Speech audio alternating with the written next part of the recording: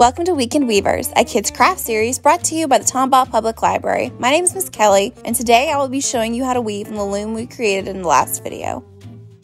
To follow along today, you will need yarn, a pair of scissors, and the loom we created in the last video. The first step is to cut a piece of yarn from your supply. Remember, this is the warp and this will be the weft. You'll take your weft string and you'll weave it under, over, under, and over and under, and over and under. This is the pattern that you'll be doing throughout the whole loom.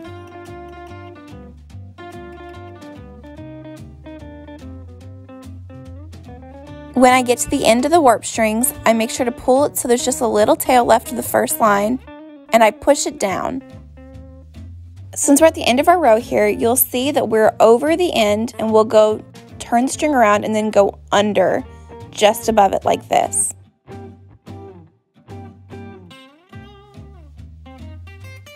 And then we'll continue on with our pattern. So over, under,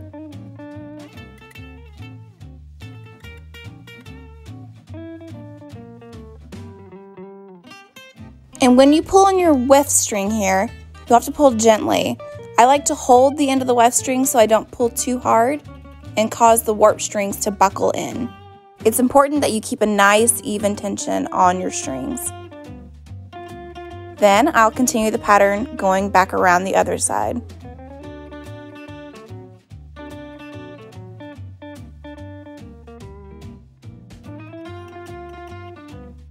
Here you'll see that I insert a ruler underneath my warp strings. This is a good way to get a little bit of space in between your warp strings and your loom in case you need a little bit more room to work with while you're weaving. When you start nearing the end of your weft string and you need to add more yarn, cut some yarn off of your supply and attach it by tying a knot. I use a double knot, but you can use whatever kind of knot you know how to tie. Make sure it doesn't move when you pull on it, and then you can trim the bunny ears of your knot. Continue weaving until you reach the guideline at the top of your loom. When you reach the guideline at the top of your loom, it's time to remove your weaving. Note where your weft strings are. You'll have one at the top and one at the bottom. Then you'll flip your loom over and either remove the lines you taped down or cut the line that you tied in the back. Now I'm going to tie the end of my weft strings to my warp strings. To do that, I figured out which warp string was closest to the end of my weft strings, and then I cut that one on the back. This will be one of the warp strings on the end of your loom. Then I tied two knots. The first knot was kind of a looser knot, and then the second knot was a tighter knot to secure the first knot. Then I went to the other loose weft string and secured it to the warp in the same way. After cutting the warp string, I tied two knots, a loose knot and then a tighter knot, and I left the tails attached for now. Then I flipped my loom over to the back and looked for one of the warp strings I had already cut to secure my weft.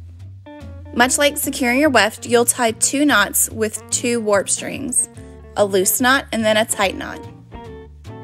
Secure the loose warp strings first, and then, as you run out of loose strings, cut warp strings to continue on. Work slowly and focus on one knot at a time. Once you finish cutting all of your warp strings and tying all of your knots, your weaving is basically finished. All that's left to do is to trim the ends of your warp strings. I like to use them as a decorative fringe on my weaving projects. Make sure not to cut too close to your knots or else your knots might come undone. When you're done weaving and your project looks a little something like this, congratulations, you have finished your weaving project. Now you have a piece of art and a loom you can reuse again and again for future projects. Thank you for joining us for this episode of Weekend Weavers, brought to you by the Tomball Public Library.